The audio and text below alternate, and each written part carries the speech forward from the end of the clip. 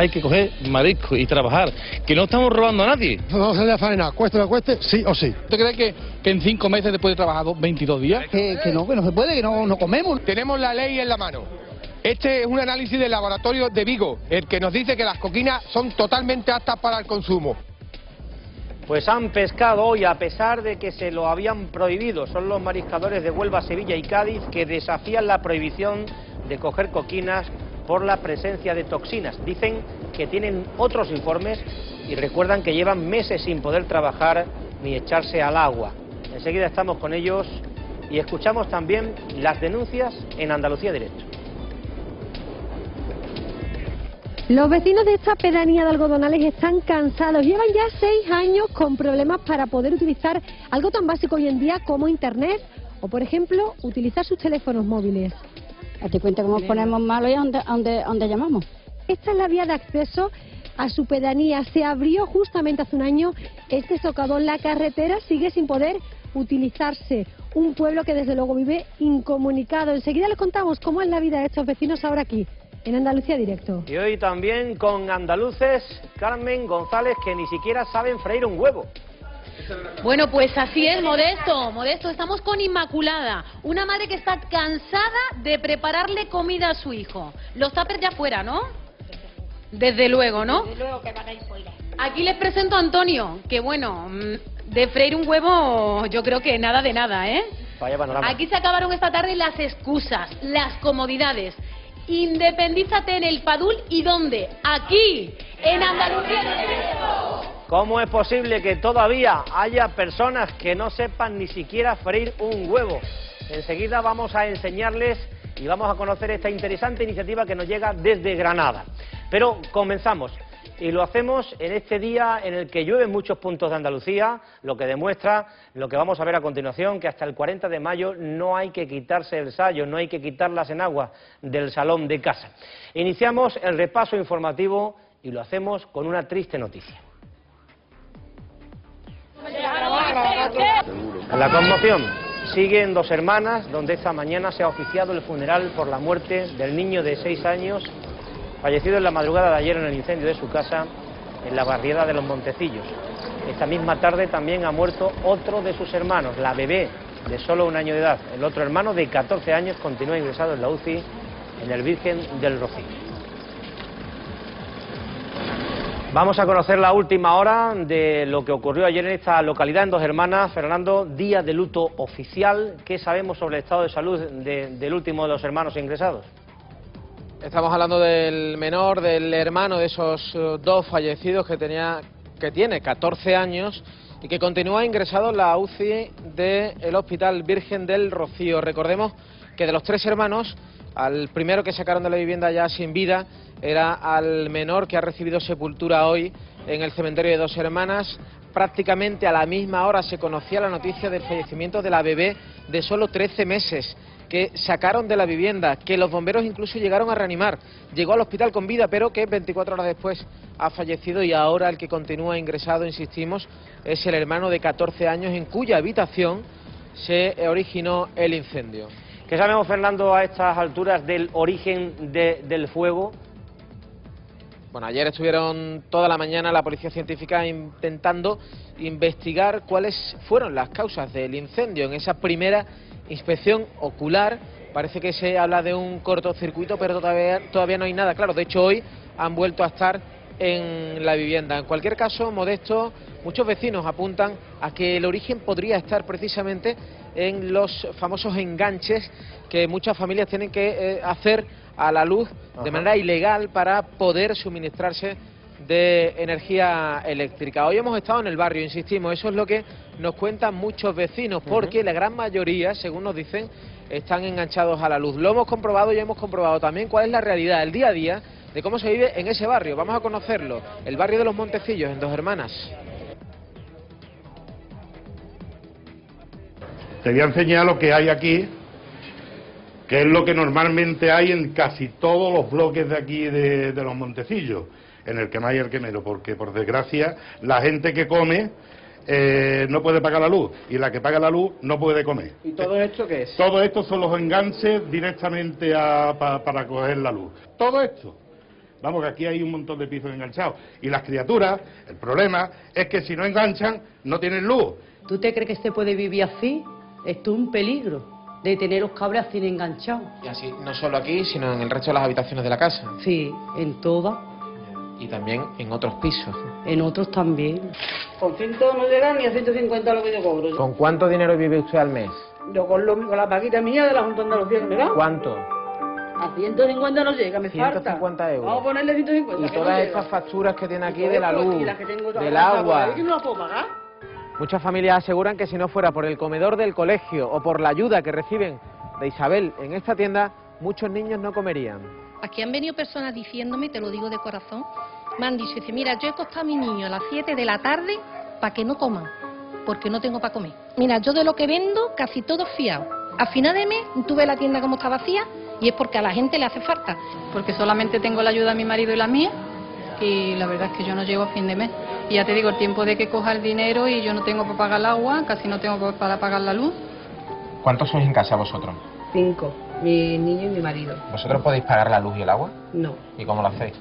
Pues de hecho la tenemos enganchada porque no tenemos manera de pagarla. ¿Cuánto dinero entra en casa? Pues sinceramente solamente entra 426 euros, que es lo que estoy cobrando de la ayuda, y es lo único que entra. Comen gracias al colegio, al comedor y porque alguien, y nosotros comemos porque nosotros nos ayudan a alguien y muchas veces pues mi suegra me da, ella tampoco tiene y nos ayuda lo que puede, pues un platito comida pues sí nos puede dar. Pedro, a ver si hacía el favor, hombre, traerme leche o galleta, algo para los niños, hombre, para que pueda almorzar o lo que sea, hombre. Aquí somos los propios vecinos los que nos organizamos como podemos y bueno, pues cada uno pone una cuota o lo que pueda e intentamos Sale de ayudar. vuestro bolsillo. Sí, sí, claro, claro. Es que no hay otra solución, es que no tenemos más vías. Las vías que tenemos son las nuestras, las propias. Que no es que seamos ricos ni seamos. Pero bueno, algo sí que se le puede ofrecer. Compráis algo y, se lo dais Efectivamente, a quien a más falta le haga en este, en este momento. Muchas gracias. Nada, hombre.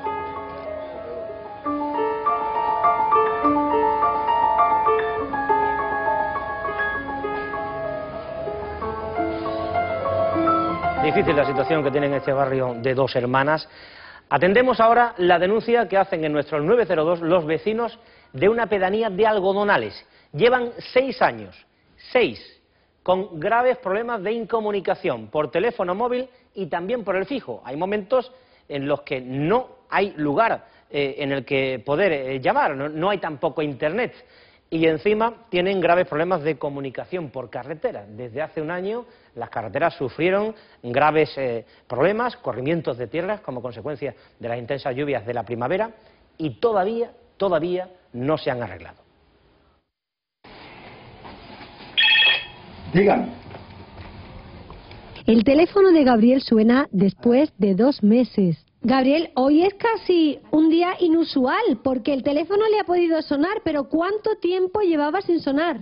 Por dos meses. Ahí tiene usted su aparato Sí. de teleasistencia, que tampoco lo ha podido utilizar este tiempo. Tampoco. ¡Qué barbaridad! Y entonces si usted tiene una emergencia o necesita algo, ¿qué hace? Pues nada, eh, llama aquí a la vecina que tiene coche. Como Gabriel, 200 vecinos de esta pedanía de algodonales llevan seis años con problemas en sus líneas de teléfono por el mal estado de un repetidor. Están hartos de vivir incomunicados. Mi marido tiene epilepsia y una madrugada se me puso malo con la crisis y ni el 112 respondía. Me salí... Tú llamabas y te salía como fuera de red. Claro, me salía área fuera de, de- sin servicio. Nos sentimos muy engañados por parte de las empresas de, de telecomunicaciones porque nos están nos venden un servicio que no nos dan, pero sí nos lo cobran. Una persona con 75 años que tengo yo, ¿qué hago? Que no tengo teléfono, ni tengo móvil, ni tengo nada. Ni la vecina que tengo más cerca, pues por la noche está durmiendo, que voy a ir a molestarla. Date cuenta cómo nos ponemos malos y a dónde, a dónde, a dónde llamamos. Simplemente para pedir una cita al médico, una persona de, este- de esta edad no sabe utilizar Internet. Entonces necesitan continuamente un teléfono. Solamente para pedir una cita al médico, yo, por ejemplo, tengo que ir, si voy a Argonales, le tengo que hacer el favor a mi vecina de ir al ambulatorio y pedirle una cita. Para mañana tenemos que tener preparado las actividades, ¿sí? Hola, Hola. ¿puedo pasar? Sí, por supuesto. Hola.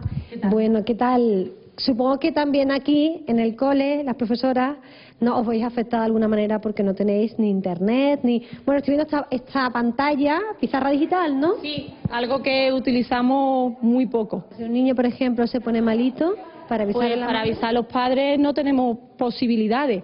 Muchas llamar a algún vecino, alguien... Exactamente, la, la tienda de alimentación que tenemos al lado es nuestro mayor recurso. Por ejemplo, si yo ahora mismo quiero buscar un mapa en internet para ofrecerle a los niños una visión real, pues por mucho que lo intente, Nada. nada. Servidor no encontrado. Eh, Mira, este es el repetidor, o Repetidor o- receptor o... palo que tenemos ahí puesto. Que nos Para los tiene- 200 vecinos. Sí, que nos tiene Movistar puesto ahí, por el cual pagamos una cuota, ¿no? La factura y, y no tenemos servicio. Hoy te veo con el teléfono en la mano. ¿Desde cuándo no lo sacabas a la calle? Uy, pues ya hace casi dos meses que no Ya servía. en casa. Ah, Desde ayer milagrosamente funciona algo. Nos ponemos en contacto con la compañía telefónica desde donde se comprometen a buscar una solución definitiva. Incomunicados por teléfono y por el acceso, la carretera que va a su pedanía. Fíjense cómo está hace justamente un año se abrió este socavón que sigue sin arreglarse y los vecinos viven incomunicados. Desde Diputación, que es a quien pertenece esta carretera, nos aseguran que el proyecto está aprobado y que las obras comenzarán de inmediato. A ver si se arregla cómo se cuidado. pretendía arreglar esto. Escuchen, hace unas semanas los vecinos de Bellavista, en. Sevilla, nos pedían ayuda. Un escalón de apenas 10 Fíjese centímetros de anchura se había convertido en un obstáculo insalvable, sobre todo para las personas mayores, con eh, problemas físicos. Bueno, pues miren lo que ha pasado después de la denuncia de Andalucía. Y ahora para bajar todavía más complicado. Con el tiempo que llevaban ustedes esperando que la arreglaran. Y anda que no, no, no nos ha costado trabajo. Si no vienen ustedes, no nos la arreglan. Ya tienen ahí para poder subir. Han visto Andalucía directo, pues entonces dirán, vamos a arreglarlo para que no den más murgas. Porque llevamos años y años con este tema. Ya pueden subir más tranquilamente. Pero ya, hombre, ya se puede perfectamente. La persona lógica puede ya tirarlo estupendamente. Pero hijo, gracias a vosotros no han arreglado esto, porque si no, esto no lo arreglan. Esto no lo arreglan, seguro porque llevamos ya dos o tres años tirados con este tema y no nos echan cuenta. Fran es uno de los tripulantes de la guardamar Calliope, el primero que atendió a la mujer inmigrante que dio a luz en una patera. Desde luego ninguno de ellos olvida lo vivido. Lo mejor es que la mujer se encuentra bien y también su niño. Quédense que les contamos esta dura y a la vez entrañable historia y será ahora mismo aquí en Andalucía Directo. Pero antes vamos hasta Granada, a Motril, donde el hombre que ha agredido a su pareja ocasionándole graves heridas está ya detenido. La mujer está ahora en la UCI con traumatismo cranoencefálico y ha tenido que ser intervenida. Carmen, ¿cómo se encuentra esta mujer?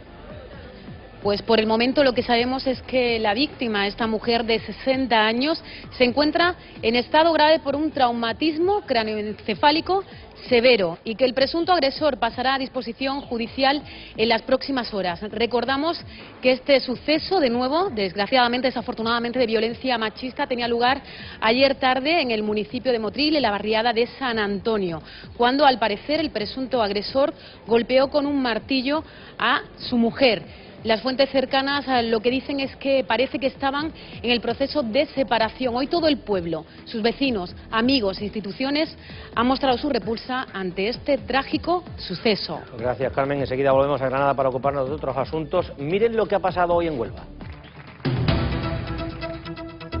Hoy está siendo una mañana de muchísima tensión para los mariscadores de la zona de Matalascañas porque deciden salir a faenar a pesar de las advertencias de la Guardia Civil. Hay que coger marisco y trabajar, que no estamos robando a nadie. Vamos a salir a faena, cueste lo cueste, sí o sí. ¿Usted cree que, que en cinco meses después de trabajado 22 días Os pueden multar, entiendo. nos pueden multar?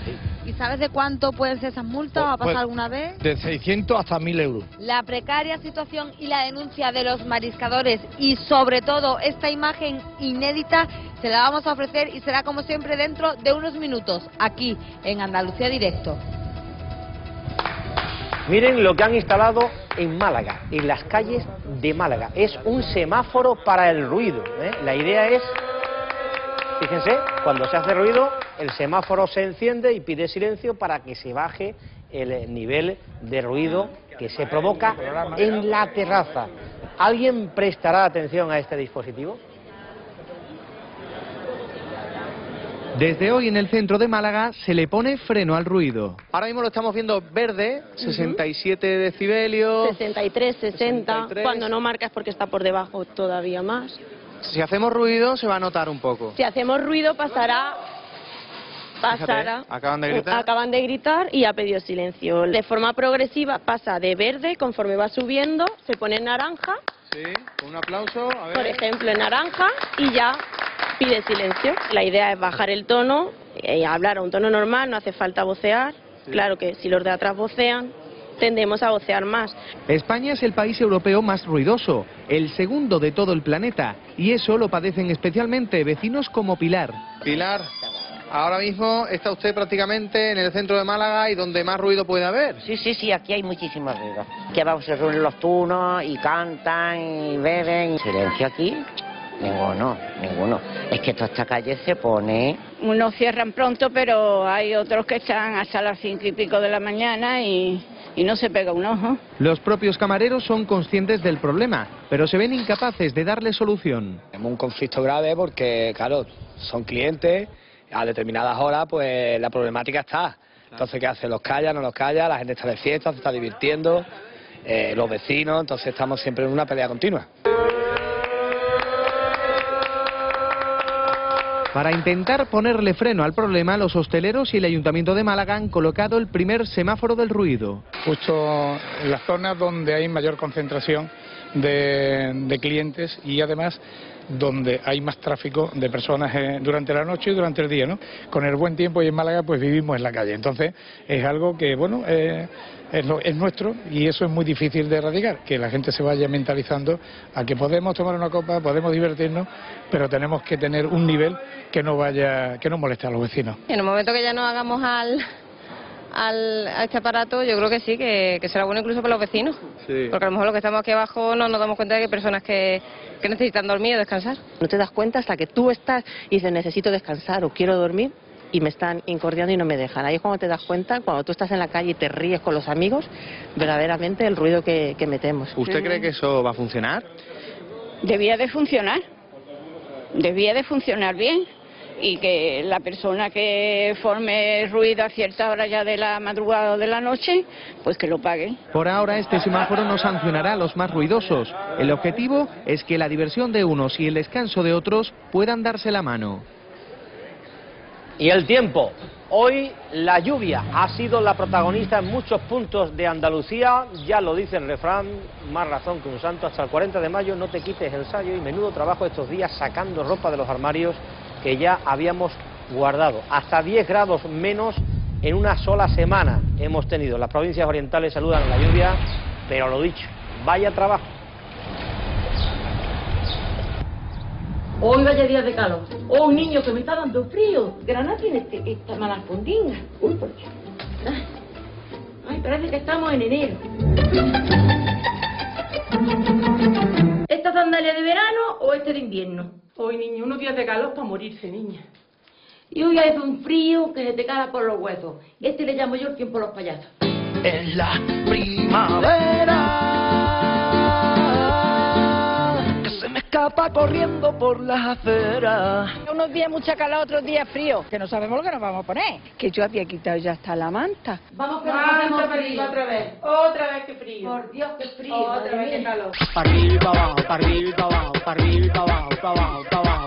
Para que veas como te he dicho, el, ot- el otro día hace ya bastante, le quitamos la manta a mi madre y mira ahora, hemos venido de Granada y hemos tenido que ponértela porque esta noche yo iba a morir de frío. Niña, no hemos levantado esta mañana para ir a Granada y estábamos el otro día a 35 grados y hoy a 10. Esto no puede ser. Si mira, camina, he pillado. Temible, temible, mira, el chándal, la, la manga larga, el paraguas. Muy frío. Allá en manga corta. Esta mañana un frío increíble.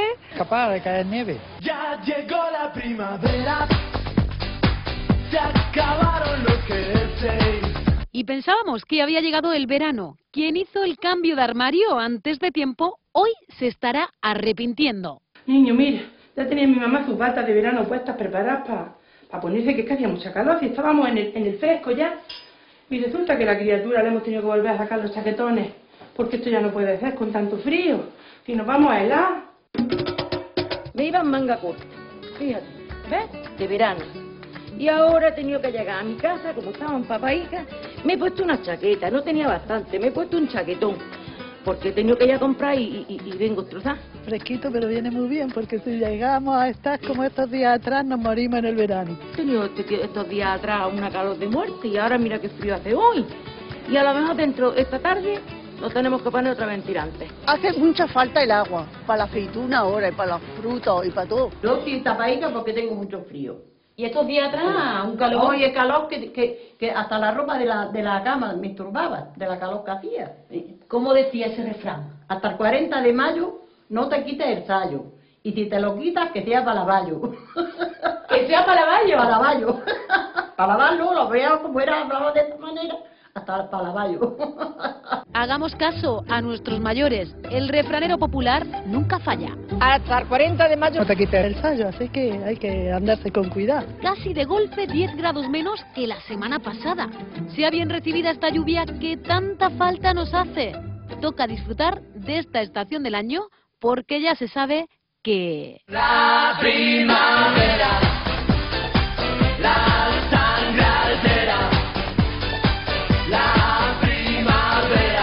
Bueno, simpático vídeo el que nos cuentan, el que nos enseñan desde Granada. La cosa está así, no van a bajar mucho más las temperaturas, de hecho vamos a ir teniendo un tiempo más estable en los próximos días. Mañana nubosidad variable, eh, sobre todo en Huelva, Cádiz, Sevilla, Córdoba, con posibilidad de alguna lluvia dispersa en Cádiz. ¿eh? Vamos a repasar el detalle provincia a provincia. Empezamos en Almería, Mar Gutiérrez. Ay, Modesto, que he escuchado lo de la lluvia en Granada y se me ponen los dientes largos porque es que parece que es que no llega, que pasa algo que no llega a Almería. Aquí ha chispeado, y bueno, y un momentito y en poquísimos puntos de la provincia, nada para paliar nuestra sequía, que le vamos a hacer? Y mañana más de lo mismo porque estarán los cielos poco nubosos que dejarán alguna precipitación pero de carácter débil.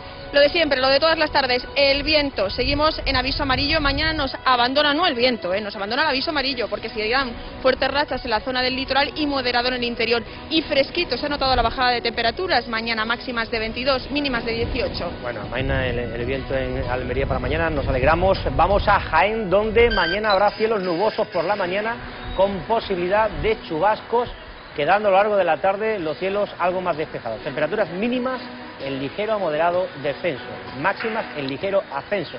Se esperan 19 grados de máxima y 12 de mínima. Y de Jaén vamos a Córdoba, Carmen, la noche ha sido lluviosa, ¿no? Menuda noche de viento, menuda noche de agua, vientos que superaron los 70 kilómetros por hora en el norte de la provincia, mucha agua en la capital cordobesa. En Montilla, por ejemplo, se recogieron 14 litros de agua por metro cuadrado. La semana va a seguir así inestable, con muchas menos probabilidades de lluvia, pero con temperaturas un poco más fresquitas. Volvemos a la chaqueta, a los pañuelos, las máximas se situarán en Córdoba alrededor de los 20-21 grados y las mínimas en 9 graditos, por lo tanto, un poco más de frío. Aquí estamos muy pendientes de lo que ocurra de cara al fin de semana porque el viernes comienza ya nuestra feria. Pues sí, que es verdad. Y en Granada, Carmen González, ¿la lluvia termina con el día o no? Pues la lluvia no ha terminado con el día, afortunadamente, porque se ha presentado esta mañana un día de perros, literalmente. Muchísimo viento, muchísima lluvia, ha ido mejorando a medida que ha avanzado la jornada, algo similar de lo que va a pasar mañana. Mañana nubosidad, a primera hora de la mañana nubes que irán desapareciendo y temperaturas muy similares a las de hoy, 22 grados de máxima y 10 de mínima.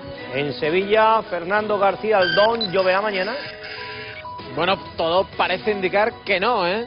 Pero desde luego lo que no podemos obviar es la alegría, me cuentan, que tienen los alérgicos gracias a las últimas lluvias- que han caído en Sevilla. Dicen que eso, desde luego, hace que sientan menos eh, síntomas, ¿eh? Así que enhorabuena por ellos que desde luego en las últimas horas no tienen que estar estornudando, tosiendo o padeciendo otros otros síntomas. Mañana no llueve, ¿eh? lo que sí bajan son las temperaturas, porque vamos a tener una máxima de 23 grados y abríguense por la noche, que tendremos una mínima de 12. ¿Cómo han cambiado las cosas? eh? Bueno, no se barbaridad. pierdan ustedes la hermosura de directo que ofrece a continuación Fernando desde Sevilla. No decimos nada más. ¿eh? Vamos a Huelva, Cristina.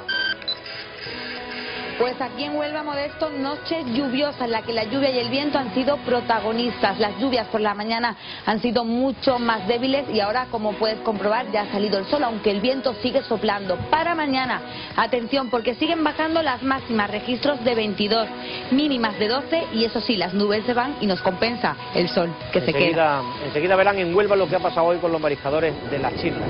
En Málaga, Juan Carlos, el tiempo...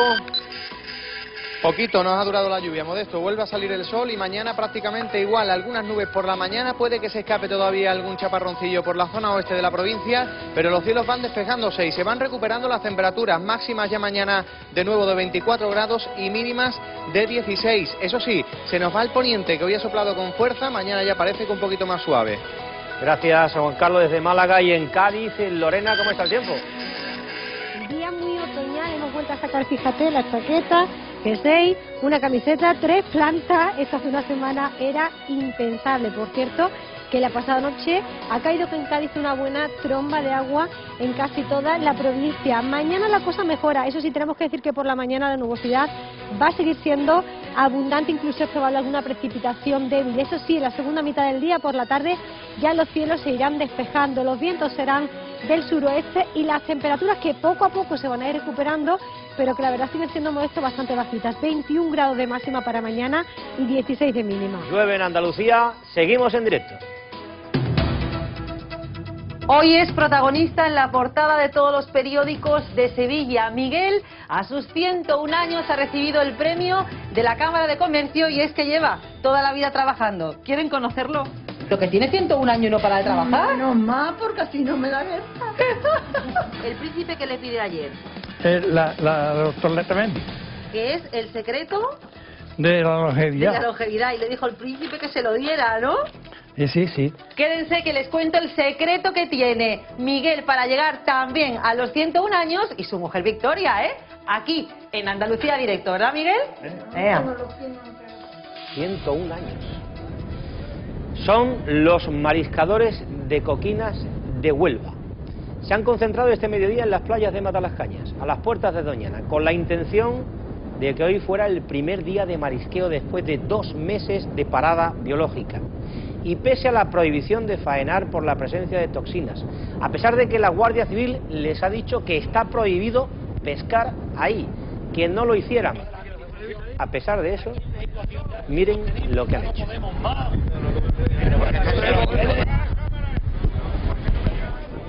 O sea, de faena, cueste lo que cueste, sí o sí. Ahí no, hay- ahí no tenemos otra. Va, Ya vamos a por todas. Situación padre de familia, carga familiar y esto ya es un atraco más no armada. Es la imagen del día. A pesar de que la Administración ha suspendido el marisqueo asegurando la existencia de toxinas en la coquina, estos hombres, todos padres de familia, completamente desesperados, se han echado a la mar. Ni siquiera las advertencias de la Guardia Civil han conseguido frenarles. Tenemos la ley en la mano. Este es un análisis del laboratorio de Vigo, el que nos dice que las coquinas son totalmente aptas para el consumo. Y vamos a trabajar porque no podemos mantener esta situación. Buenos días. Buenos días. A pesar de las advertencias que os han dicho que no salgáis a faenar, vosotros Vamos a faenar porque las muestras que tenemos de, de la coquina están buenas. Ya no podemos aguantar más. Hay que coger marisco y trabajar. Que no estamos robando a nadie. Es que llevamos dos meses por la veda. Ahora, eh, es que antes de la veda ya estaba contaminada, tampoco hemos podido trabajar. Hemos trabajado este año 22 días de trabajo. ¿Tú te crees que, que en cinco meses después de trabajar dos- 22 días? No tienes derecho a nada y si no paga la luz te la corta y si no paga el agua lo mismo. Y mira, la Guardia Civil y a trabajando. pesar de que estén ahí, vaya a seguir con la idea A pesar de que salir a estén ahí, porque nosotros tenemos hoy la, la muestra que le hemos hecho, que la nuestra está buena. Es que esa muestra vais ahí. con esa, con esa muestra vamos ahí. Me imagino que la desesperación que tenéis vosotros ahora es que sois todos padres de familia que tenéis... supuesto, aquí el que más que menos tiene un niño, tiene dos, tiene tres, y así no se puede seguir. Es que no podemos, es que, que no, que no se puede, que no, no comemos. Ha sido una mañana difícil. La losa de las cuantiosas multas sobrevolaba sobre la conciencia de estos trabajadores, para los que el deber y la necesidad de llevar un jornal a casa era imprescindible. Cuando salía a mariscar, ¿de cuánto es el jornal? Más o menos, al día. Depende del marisco que haya. A veces 3 kilos, 5 kilos. Ahora hay una rasita más, más buena que ¿Y se puede... en cuántos euros se traduce? A 5 euros y medio se está pagando el kilo, 7, después lleva 80 euros. Pero esos son pocos. Os pueden multar, entiendo. Nos pueden multar, sí. ¿Y sabes de cuánto pueden ser esas multas? ¿O ha pasado Pues- alguna vez? De 600 hasta 1000 euros. Galicia, el marisco que hay es para los mariscadores y para la gente que vive de ellos y paga por ellos, por ese recurso. De momento vosotros estáis aquí, los coches de la Guardia Civil están bastante lejos, no se han acercado a multaros. No sabemos si están esperando seguramente que os vayáis vosotros y si no os vais vosotros no sabemos qué es lo que va a hacer, si nos van a esperar en la carretera. El caso en el que os multaran, si vuestra situación económica es límite, ¿cómo podéis hacer frente a eso? Pues no sabemos cómo hacer frente a eso, lo que sí sabemos es que la situación no nos permite llegar a casa sin un ingreso. Y el de aire y espuma, el pan pa' mis hijos, yo le arranco al mar. Y se marchan con las manos vacías, sin un sueldo que llevar a casa y con una situación que califican de desesperada y que se prolonga más de 60 días. El marinero, igual que a mi pueblo, lo quiero. Grave problema de los mariscadores de coquina de las costas eh, del Golfo de Cádiz. Bueno, enseguida vamos a Algeciras para ver lo que le ha pasado a un hombre que ha estado a punto de ser linchado en la calle, si no llega a ser por la policía, porque lo han confundido con un violador. Enseguida estamos ahí. Pero antes van a ver a continuación que todavía hay muchos andaluces y muchas andaluzas, desgraciadamente más andaluces que andaluzas, que no saben ni siquiera freír un huevo. Carmen González, cuéntame. Bueno, aquí estamos con Inmaculada. ¿Y qué tenemos aquí? Por los tapes que me deja mi niño, uno de los tapes que me deja mi niño cada semana. ¿Y después hay que rellenarlo? Rellenarlo, pero estos son pocos, es más. ¿Más todavía? Más todavía, claro. Aquí tenemos a Antonio, que no sabía ni freír un huevo y hoy como que algo ya va aprendiendo, ¿no?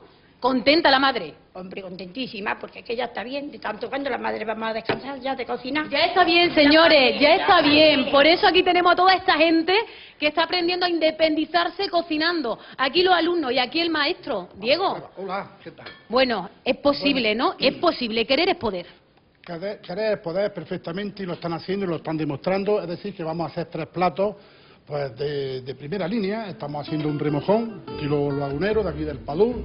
Vamos a hacer un pescado con pimientos de, de aquí del valle, de nuestro pueblo y, y unas brevas con chocolate. O sea, que de camino con chocolate. a ver si aprenden- menú, el- qué gran menú vamos a hacer. Dime, Modesto, dime. que de camino a ver si aprenden a hacer algo más que freír un huevo, ¿no? Hombre, claro, de camino vamos, mucho más que freír un huevo, aquí aprenden. Es lo que me decía, es que cocina fácil, saludable y que hay que ponerle empeño. Aquí tenemos a un amigo mío que me decía, a ver, tú has estado solo viviendo. Sí, durante un año. Y yo le he preguntado, ¿y cocinaba? Y me ha dicho, sí, sí, pero a ver, ¿qué cocinaba? Pues macarrones, espagueti, arroz a la cubana, no salía de ahí. Bueno, ¿y qué estamos haciendo aquí? Pues estamos haciendo doradas rellenas de gamba y luego le pondremos anchoas mm, con una base de salsas de pimientos de diferentes sabores. Lo mejor, de verdad, esto es fácil. Sí, realmente sí. Querer es poder, insisto, hay que independizarse cocinando. Aquí tenemos a otro amigo, a ver, él me dice que trabaja cerca de quién. De la casa de mi madre, Entonces tú todos los días vives solo, pero vas a comer allí. al mediodía como allí. Bueno, tu madre yo sé que está muy contenta y tu padre de verte allí, de que comas, pero hay que hacer algo, ¿no? Hombre, siempre te independizas pensando en independizarte, no en estar allí todo el día metido. Bueno, chicos, muy jovencitos, que se acabaron eso de meter la pizza en el horno. Que hay que sorprender a las novias haciendo otra cosa. Tenemos aquí, ¿qué estamos preparando? Remojón, remojón lagunero. Remojón lagunero. ¿Qué lleva el remojón lagunero? Pues lleva la naranja, la Bacalao, veo. bacalao, aceituna, tomate seco y un poquito de, de vinagre y de... Bueno, aquí no hay que ser feminista porque vemos también que aquí hay muchas chicas que reconocen que no sabíamos mucho de cocina, ¿no? De cocina regular. Poquito. Poquito, viene bien enseñarse. Bueno, agradecer al Ayuntamiento del Padul este curso que están haciendo aquí porque lo mejor de todo es que es fácil. Es fácil, de verdad. Sí, sí, es fácil. Bueno, a ver, a ver, aquí tenemos a un hombre más madurito, ¿no? Reconocemos, a ver, vente por aquí, a ver si te ve, vente por aquí conmigo. ¿Sabíamos cocinar o no? Un poquito, pero no, el punto que se le da a la cocina no. A partir de ahora, A partir de ahora aquí se va aprendiendo los puntos que se les da para, para que tenga un sabor diferente y bueno. bueno, Diego, yo sé que hay que insistir en eso, ¿no? Que Las brevas que son de nuestro pueblo, las fresas, las cerezas que ya le están viniendo, estamos haciendo aquí un postre que vamos, que, va, que seguro, seguro, seguro que se independiza. Seguro que sí, ¿no? Seguro. Si no se casan, algo, una de dos. O se casan o se independizan totalmente, pero, pero saber de comer van a saber. Bueno, esto es muy fácil. ¿Qué lleva esto? Bueno, esto es un plato fácil, ya lo hemos hecho varias veces, son las brevas, que ya estamos en temporada, le hemos echado unas poquitas cerezas, que ya están entrando las cerezas, y unas fresas, chocolate, un poquito de anís. Mira cómo ya huele. a anís, chocolate puro y un poquito de nata para suavizarlo un poco. Y luego cuando se enfríen, pues se puede poner un poquito de una bolita de helado, cualquier cosa. Ellos ya saben cómo decorarlo, cómo hacerlo eso. Bueno, yo mientras Bien. que ellos, si te parece, veniros por aquí, les vais enseñando la salsa, voy a traer yo el plato para que vean cómo queda finalmente, porque aparte es importante la presentación, modesto, pero es que bueno, esto que tenemos aquí es lo que ellos me contaban antes, que, que Bueno, ¿y el del huevo cómo va? que es sumamente fácil. El del huevo, ¿dónde está Antonio? A ver, A ver el del Antoñito, huevo, que es el que a mí me vente por aquí, Antonio. El del huevo, Modesto te quiere ver, ¿hemos aprendido a freír un huevo? Sí, hemos aprendido. No solo hemos aprendido a freír un huevo, sino que mira lo que en cuatro días ha conseguido ya hacer Antonio, ¿eh? Pues sí, ya, ya algo hemos aprendido, ya no se queda solo en un huevo, un huevo frito, ya para mí es. Se acabaron fácil, los tuppers, ¿eh? Ya se han acabado los tuppers. Bueno, un aplauso, venga. Un aplauso a toda Magnífica esta gente, idea, ¿eh? independízate. Sí, cocinando. Sí, señor. Aquí en Padul, ¿eh? Lo contamos en el Día Mundial de la Nutrición. ¿Saben ustedes que uno de cada seis niños de entre 9 y 6 años tiene sobrepeso? Es un gravísimo problema de salud. ¿El aceite de oliva virgen extra te gusta? Sí, me ¿Y la naranja? Sí, me chifla. Comer sano es divertido, la obesidad infantil no. Con este eslogan celebramos hoy el Día Nacional de la Nutrición. Para que te sientas bien y no tenga enfermedades y no estés malita. Y ellos han sido los protagonistas. Han exprimido zumo, han horneado pan Cógelo, cógelo. ¿Qué? Todo esto. y lo han regado con aceite de oliva virgen extra. Los quesos de cabra son un poquito más blancos, dan una leche, una leche más, más blanca. Es un pan. ¿Y el pan cuándo lo comemos? Por la, por la mañana. En el desayuno, muy bien. ¿En la comida comemos pan, sí o no?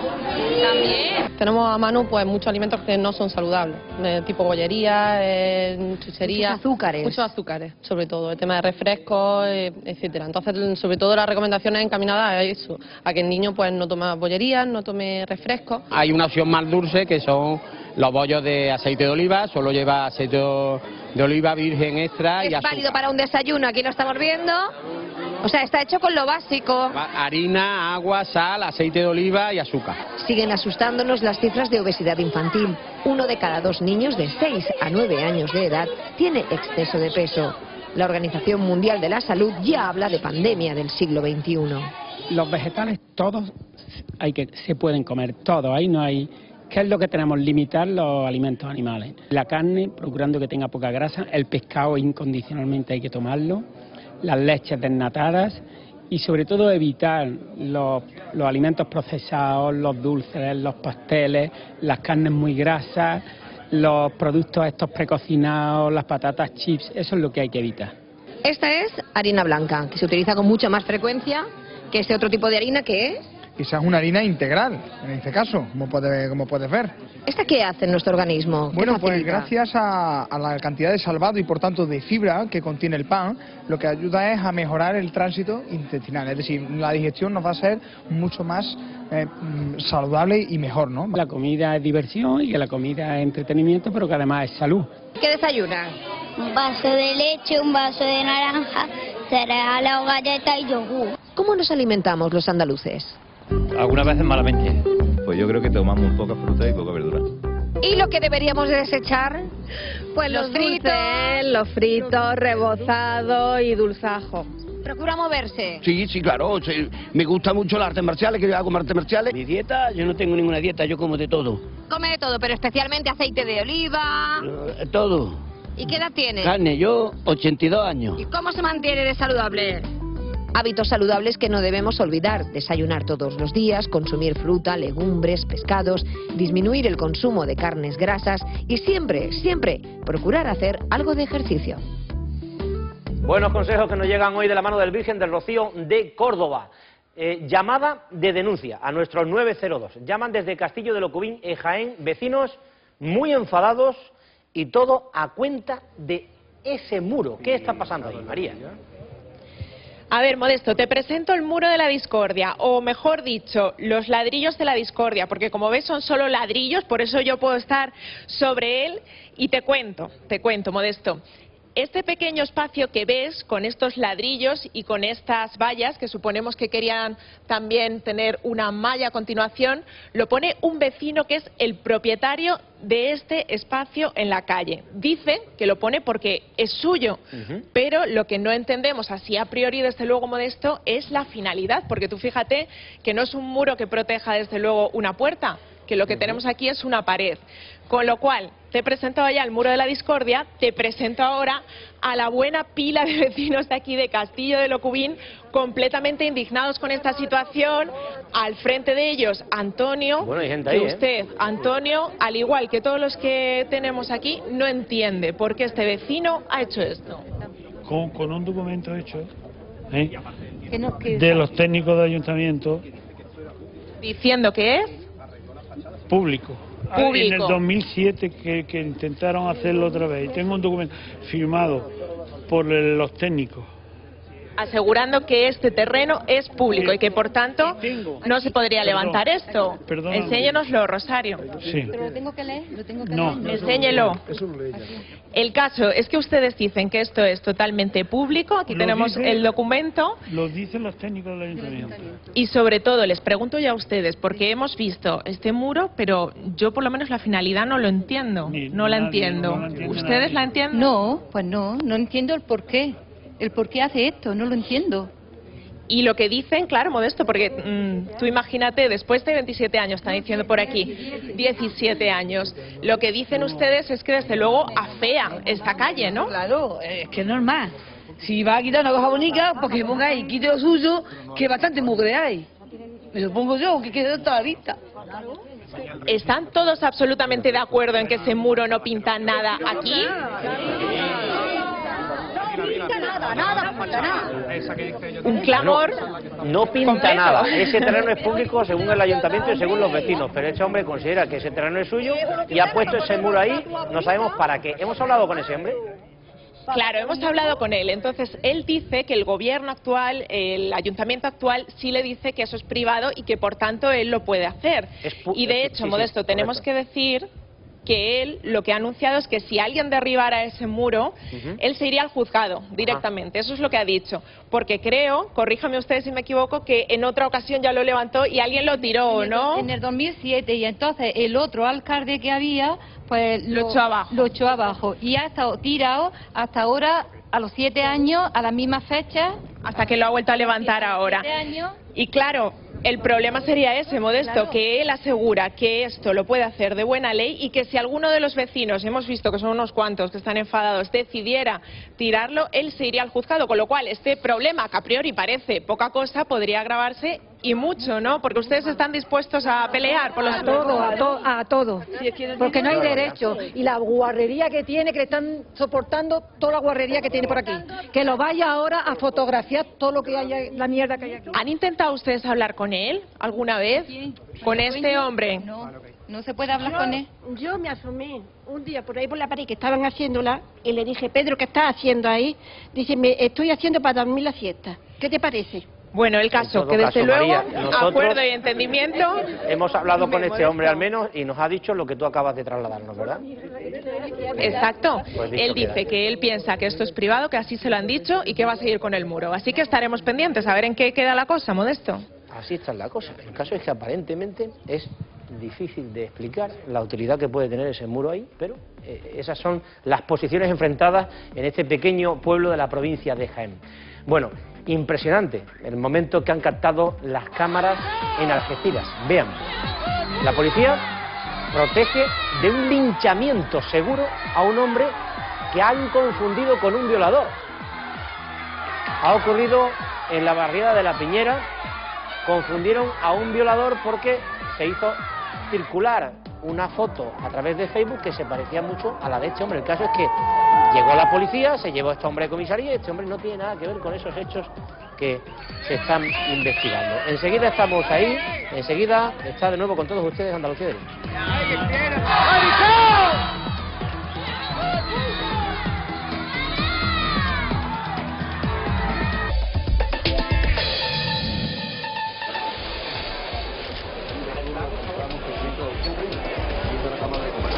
Felipe y Leticia, Leticia y Felipe mañana cumplen 10 años de casado y así de sonrientes los vimos anoche aquí en Andalucía, en Sevilla, en concreto los príncipes de Asturias presidieron la cena de la Cámara de Comercio en la que se reconoció el papel de los empresarios de la ciudad. Entre otros, la figura de Miguel Pérez Jiménez, un andaluz que tiene ni más ni menos que 101 años, reconocido por su trayectoria empresarial. Ahí lo tienen, este hombre con 101 años sigue todavía trabajando.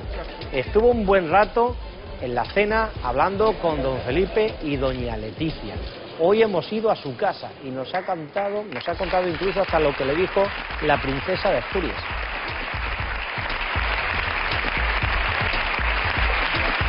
¿Y, tú qué, piensas de los que son un, puñetero y, y, y, y, y- y un mujeriego? Y se cierra y dice, sí, sí, sí, sí, pero el mío no, el mío, el mío es de la madre, en, en Grecia. Mucho sentido del humor, el de este andaluz con más de un siglo de vida y todavía en activo. Enseguida estamos con él, pero antes eh, vean de nuevo esas imágenes que han captado los teléfonos móviles en Algeciras. La policía protegiendo de un linchamiento seguro a un hombre que habían confundido con un violador. En la calle Duero, en la barriera de la Piñera, un hombre al que confundieron con otro supuesto violador cuya foto se había hecho circular a través de las redes sociales. Vamos hasta Cádiz. Lorena Jaén, ¿qué sabemos de este incidente? Es tremendo, desde luego una desagradable coincidencia y el susto que se llevó este hombre, como decimos, es tremendo. Todo parte, bueno, a través de las redes sociales, concretamente a través de Facebook, pues los vecinos ven la imagen de un supuesto violador de menores. Bien, pues ven a este hombre, este supuesto violador, que no era el supuesto violador, lo ven por la barriada, empiezan a increparle, a insultarle, hasta que llega la policía. La policía se entrevista con este hombre, se lo lleva entre los abucheos, gritos y por supuesto el peligro de haber sido linchado. Se lo lleva a la comisaría y una vez en comisaría la policía certifica que este hombre no es ese supuesto violador. Vamos a escuchar el testimonio de algunos de los vecinos que vivieron, fueron testigos de este suceso. Es tremendo, ¿eh? Los hombres decidieron de, de pegar puerta de Belén para sacarlo. Y ya llamaron las vecinas a la policía y vino la policía. Aquí todo el mundo barandilla, todo lleno de gente, y él salió con su cabecita tapada. Lleva un mes circulando aproximadamente por el Facebook que el chaval había violado a una niña o cosas así. Los testimonios de los vecinos de la zona del campo de Gibraltar donde ocurrieron los hechos. Ahora sí, vamos a escuchar a este andaluz feliz con 101 años de vida, todavía en activo, que ayer tuvo un día inolvidable, un día de gloria. Estuvo un buen rato hablando con don Felipe y con doña Leticia. Hablamos del empresario sevillano Miguel Pérez Jiménez, con el que hoy hemos compartido un buen rato. Así nos encontramos a Miguel cuando llegamos a su casa. No me puedo creer que esté usted trabajando. A ver, ¿qué remedio? ¿Sí? Sí. Es que lo estoy viendo con nota y nos está esperando trabajarnos. Lleva toda la vida haciéndolo. Para él la edad no es un problema. ¿Cuántos años tiene usted? 101. ¿101? ¿Se puede usted poner de pie que yo lo vea? A ver que yo lo vea. ¿Cómo está? Si es que parece mentira y usted eh, además trabajando y sin parar. A ver. Estudió económicas, fue militar del ejército y presidente del patronato de viviendas. Y en Sevilla he, he construido 13.000 viviendas. 13.000 viviendas. Después, gerente de varias empresas hasta que montó la suya. Usted está ahí dando las órdenes de lo que hay que hacer en la empresa. Yo tengo ahí la lista de, lo, de que se la puedo enseñar de lo que les voy a decir mañana que tiene que ¿Qué tiene que hacer? Su mejor apoyo, su familia, tres hijos, nueve nietos, bisnietos, pero sobre todo, su gran amor. Su mujer, Sí. Victoria. Muy buena, Victoria, un besito. Que digo yo, que qué hacen ustedes para estar tan bien. Pues una vida muy, muy, muy, muy sencilla. Muy tranquila. Muy tranquila. Nos casamos en el 45 y estuvimos de novios dos años y medio. ¿Y todavía le da besito o no? Hombre, Que son muchos años, es toda la vida, eso es, vamos. Y ahora le han dado una medalla. ¿Y los príncipes ayer con él? Hoy por Dios. Hoy por Dios, que se le hace famoso. me tiene agobiado. ¡Ay, tantos actos, tanta camisa y tanta corbata! Que está todo el día trabajando su marido. Sí, claro. Pero que tiene 101 años y no para de trabajar. No más, porque así no me da guerra. ¿Este es el premio que le dieron ayer? Sí, ese es. Este es el premio que sale con él en todos los periódicos, Miguel. Con la princesa, Sí. Que estuvo acompañándole todo el rato. Todas, dos, dos son muy guapas, Muy guapa, ¿verdad? muy guapas y, muy- y muy inteligentes.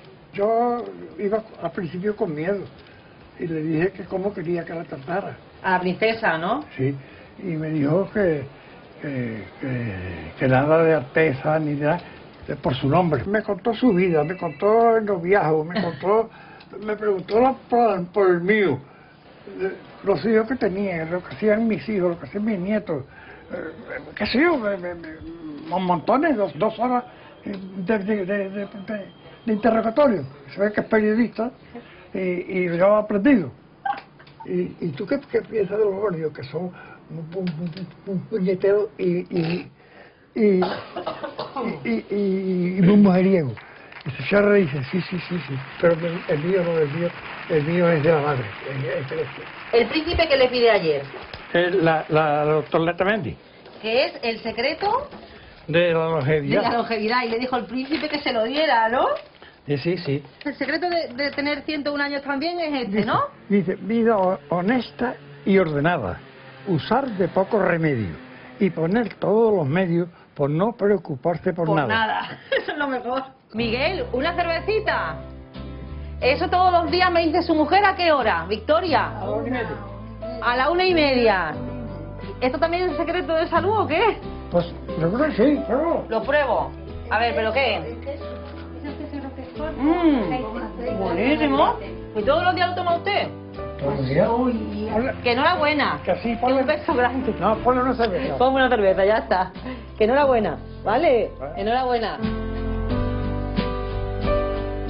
Emotiva jornada la que hemos estado echando hoy con don Miguel. Ahí está su cervecita. Bueno, esto también nos ha conmovido. La imagen que nos llega desde Almería hasta el hospital fueron trasladados nueve tripulantes de esta embarcación en la que venían 14 mujeres, cinco de ellas embarazadas y siete menores, entre los que había cinco bebés. Pero es que ahí han visto ustedes a ese que llevaban arropado los de la Cruz Roja y acababa de nacer en la patera. Acababa de nacer en la patera. Y es el misterio de la vida, en medio de esta tragedia y este drama de la inmigración de los sin papeles en las aguas que nos separan de África. Vamos en directo hasta Almería. Mar Gutiérrez. Esta mujer estaba en el hospital hasta hace un buen rato. ¿Sigue todavía ahí? ¿Qué va a pasar con ella, con su bebé? ¿Cómo se encuentran los dos? Bueno, pues como tú dices, ha sido duro, ha sido también emotivo y la última hora es que sigue todavía ingresada en el hospital Torre Cárdenas con su bebé, pero la buena noticia en que en muy buen estado de salud, no tienen problemas, serán dados de alta en breve Sí. y una vez que sean dados de alta los dos, serán trasladados a un centro de acogida de una ONG, tal y como manda la ley de extranjería. Ha sido una historia complicada y conmovedora al mismo tiempo, porque imagínate lo duro que tiene que ser dar a luz para esta mujer, una mujer de Desde Sierra luego. Leona de 26 años, en una patera con 52 personas modesto, tal y como estaba la mar. Y luego la parte afortunada, pues que Salvamento Marítimo enseguida halló la patera y llegó a los minutos de ella haber dado a luz, por lo tanto tenía todavía la placenta y el cordón umbilical. A La pudieron justo. atender y más suerte todavía, Modesto. Había en las inmediaciones un buque de la Armada con un médico a bordo y un enfermero que pudieron después, al cabo de unos minutos, llegar a la, a la guardamar Caliope y también atender a esta mujer. Por lo tanto, el final ha sido feliz, pero bueno, decir que también se encuentran bien las otras embarazadas, cuatro más, como tú has dicho, aparte de esta, dos de ellas todavía ingresadas en el hospital de Torre Cárdenas porque una está ya de 40 semanas. Vamos a escuchar, si te parece, Pues, el relato de esta bien, historia. Bien por Salvamento Marítimo, bien por la Armada. Hoy han llegado otros 10 a Tarifa que también se encuentran en buen estado de salud.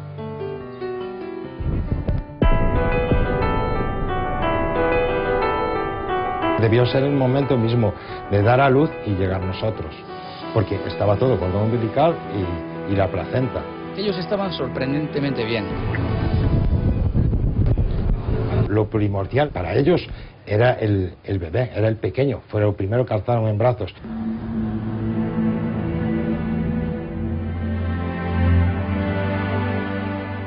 No lo van a olvidar nunca. Los tripulantes de la embarcación guardamar Caliope de salvamento marítimo nunca antes se habían enfrentado a la situación de atender a una mujer inmigrante que acababa de dar a luz en una patera. Y el primer bebé que embarcamos fue el recién nacido, que venía con la placenta, con el cordón umbilical. Tú lo que, tienes que hacer es conservar la calma. Embarcamos a él y a la madre, las dos primeras personas.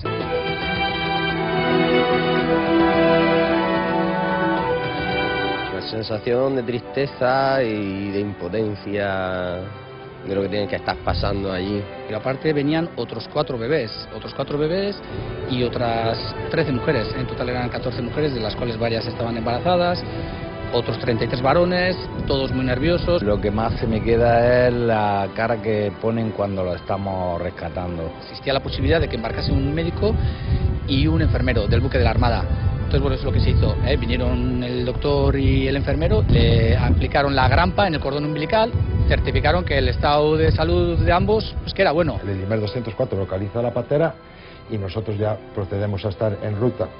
A cuatro millas y media de Alborán se localizó. Fue cuando iniciamos la maniobra de recogida de los inmigrantes, observando que había un bebé recién nacido, que fue el primero en embarcar, debido a las necesidades, y posteriormente embarcó la madre. Al aproximarnos a la patera, nos indicaron los mismos inmigrantes, hicieron gestos con algo enrollado en medio de unas mantas, y en ese momento pues ya vimos que era un bebé. Estaba en el medio, estirados en la embarcación, echados sobre otra gente. María del Mar, ¿de dónde venía esta mujer embarazada? ¿De qué países venían? ¿Y, y sabéis si venía con alguien, si tenía pareja? Pues la mujer que dio a luz, Sierra Leona, eh, no venía con pareja ni refiere nada. Y todas las mujeres que han venido han venido, no han referido venir con el marido o con la pareja.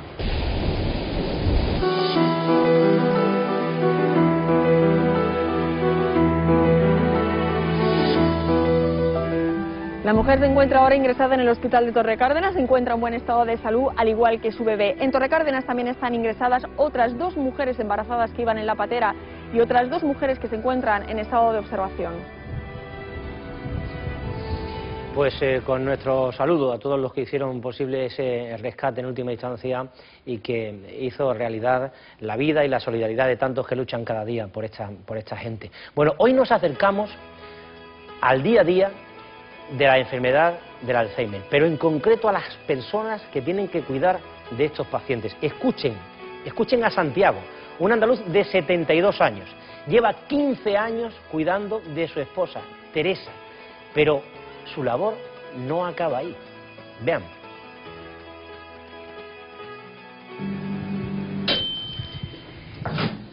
Así empieza una de sus jornadas, Santiago.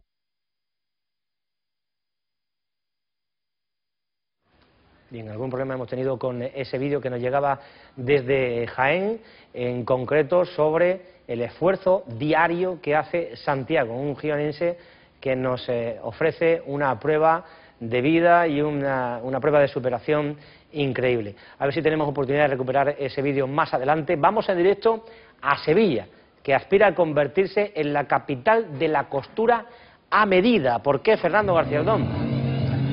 Bueno, pues porque aquí y en Andalucía hay muchos diseñadores, Raquel Revuelta, que potencian precisamente eso, la costura tradicional.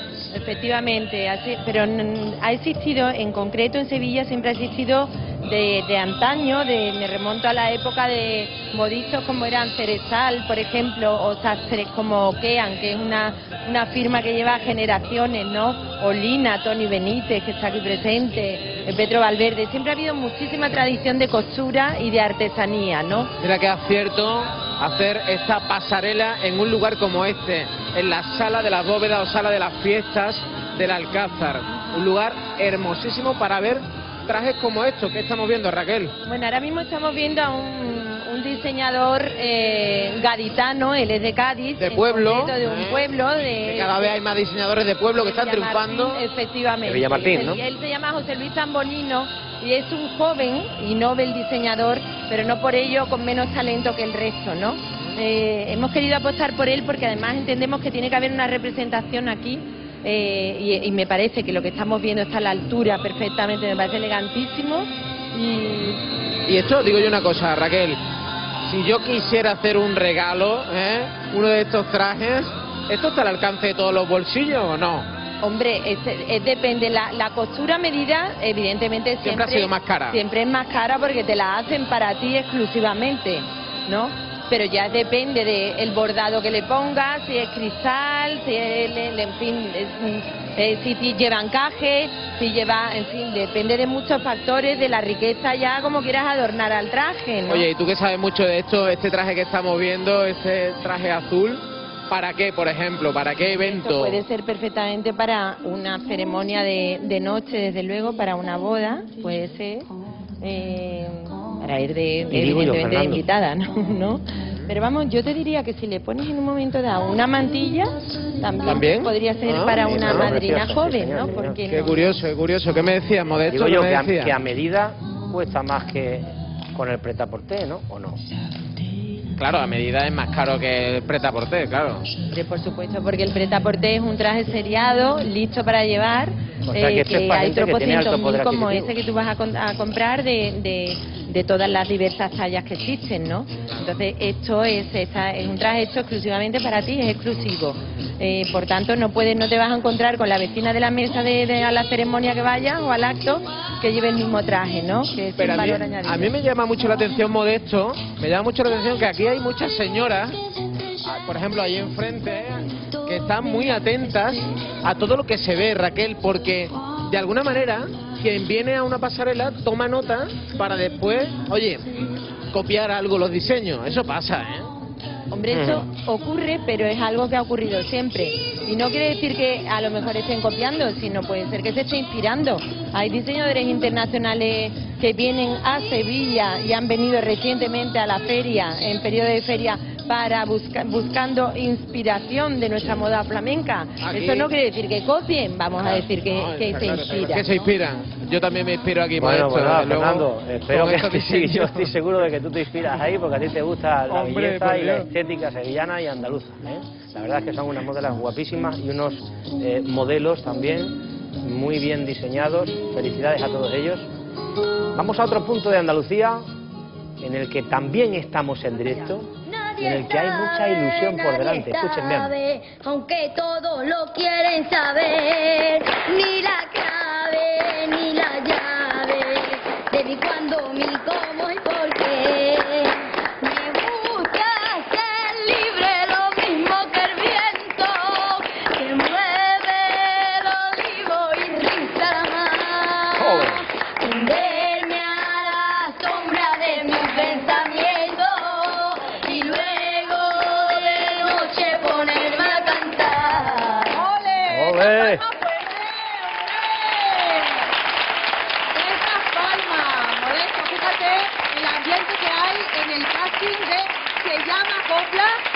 Junior.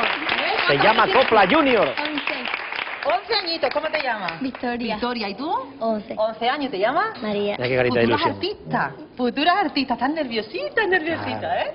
Hombre, porque pueden ser futuras artistas, pero que aún hay más. Mira, mira quién te traigo, ven para acá. ¿Tu nombre? Jesús, ¿y cuántos años tienes? Bien. Atento a lo que nos va a cantar, ¿eh? Atento, que tú no estás A ver, preparado. Jesús. Adelante ahí, vámonos. Yo soy un arriero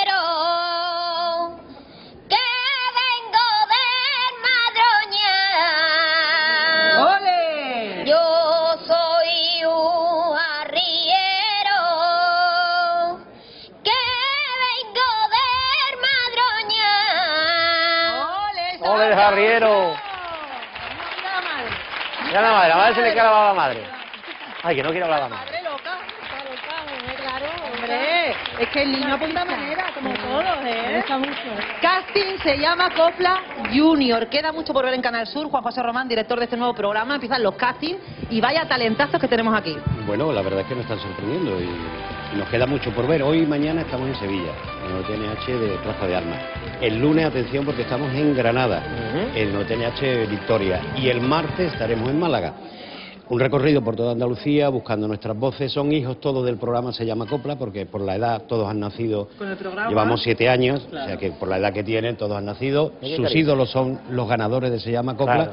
Y bueno, tenemos una apuesta para este verano en Canal Sur Televisión todos los sábados. Empezará el programa, ¿no? Que empezará el programa el día 6 de junio, una vez que finalicen de los mayores. Estaremos muy pendientes, chicas. Adelante, vamos a seguir viendo talento, ¿no? Vamos a ver estas dos chicas, adelante. Ay, dame limosna de amores, dolores, dame